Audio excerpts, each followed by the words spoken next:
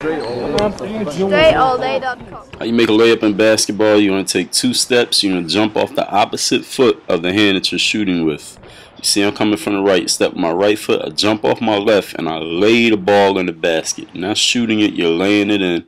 On the left hand side, same thing. You're jumping off your right foot. Lay the ball in off your left hand. Make them count.